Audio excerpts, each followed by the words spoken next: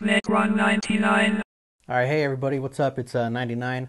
I'm back again today, and I'm going to be answering a question I got from my last video. And that question was Can you use a MIDI uh, controller to control BeatMaker 2 using a camera connection kit? And the answer to that is yes. The longer answer to that is yes, but you're going to need a couple of things. So uh, let's just go ahead and get into that. So the first thing you're going to need is a camera connection kit.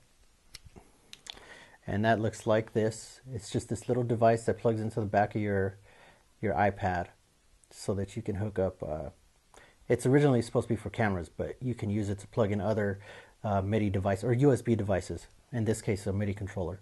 Um, and what you do is you plug that into your your iPad just like this. And then the other thing you're going to need is you're going to need a powered USB hub well, for the most part, most USB uh, MIDI controllers draw too much power, so you're going to need a powered hub in order for the camera connection kit to accept it. There are some uh, MIDI keyboards out there that that are made specifically for the iPad, so that it draws very little power and you can run it through the connection kit. But for this purpose, I don't have one of those. So for this, we're going to use a powered USB hub. So I got my camera connection kit plugged into the iPad. I got my powered uh, USB hub plugged into power. And the out from my USB hub is going to go into the connection kit. So I'm going to go ahead and plug that up right now. So now I can take any MIDI keyboard that has a USB out and plug it into this powered hub. And for this demonstration, I'm going to be using the Akai MPK Mini. Okay, so I'm gonna take my USB connection here. Apologize if it's noisy. I'm gonna plug it directly into my powered hub. And there you go. It's good to go for uh, for BeatMaker. So let's go ahead and open up BeatMaker 2.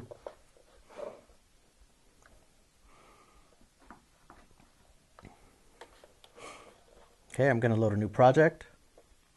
Uh, let's go ahead and open up a keyboard sampler. I'm just going to go ahead and load a keyboard real quick for demonstration purposes. Church organ. Load. Open it up and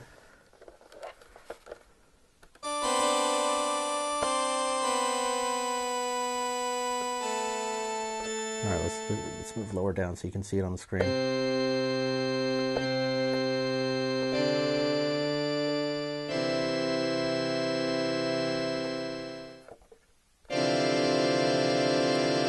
Go. You can also use it to control um, a drum machine. So let's go ahead and open up one of those. Let's just load a kit, drum and bass.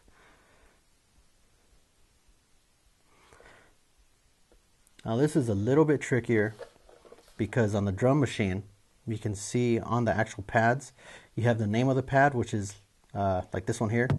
That's A1 but in the bottom right corner of the pad, you can see um, you can see which note on a keyboard it corresponds to. And this one is C minus 2.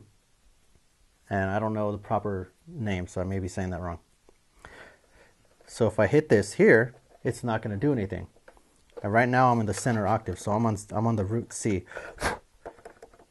So I just got to go down some octaves and it may be different for your keyboard depending on how many keys you have. So I go down,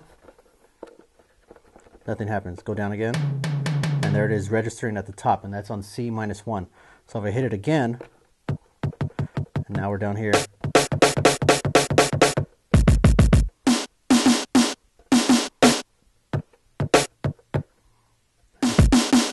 And there you go.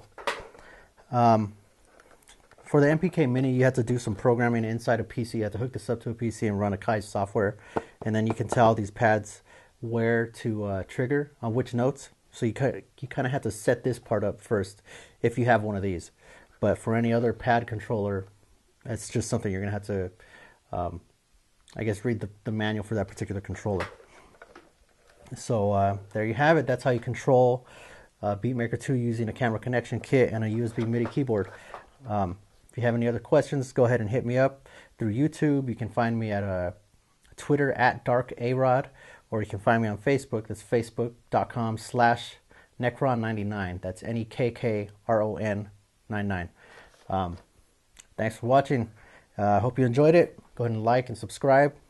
Peace.